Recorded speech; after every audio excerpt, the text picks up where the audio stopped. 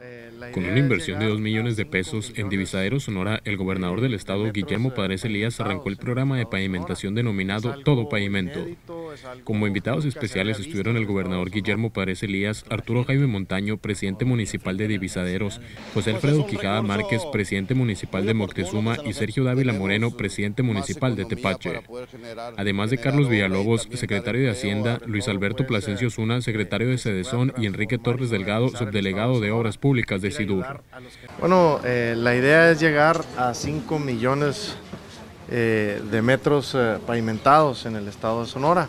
Es algo inédito, es algo que nunca se había visto en el estado de Sonora para el bienestar de la gente, para crear empleo, para seguir fortaleciendo la economía en el estado de Sonora. Quiero ayudar a los que nunca se les ha ayudado, hay que darles pavimentación a todos.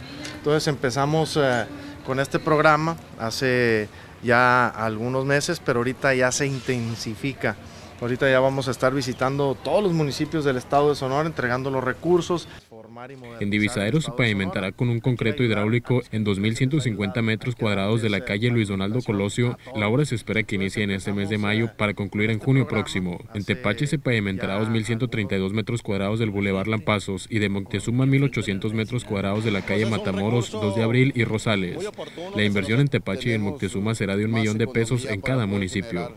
Con información de Miguel Ángel Urquijo para el imparcial.com, Juan Enrique Hernández.